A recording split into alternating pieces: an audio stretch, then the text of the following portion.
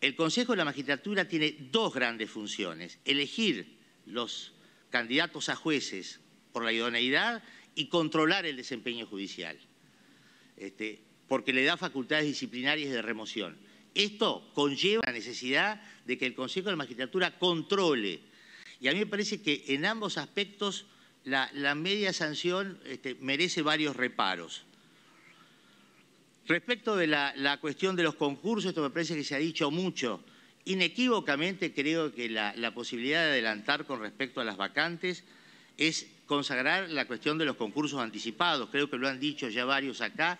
Lo traía la, la media sanción del 2010 y lo traen muchísimos proyectos más.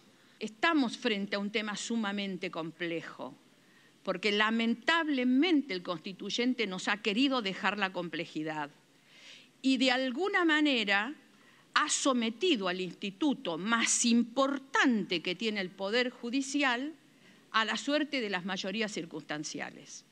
Con lo cual, el desafío es el logro del número vital que le dé fortaleza a esto, que le dé fortaleza al Instituto del Consejo de la Magistratura, donde además los constituyentes han querido poner en ese organismo nada más ni nada menos que la designación, la acusación y la administración de la justicia.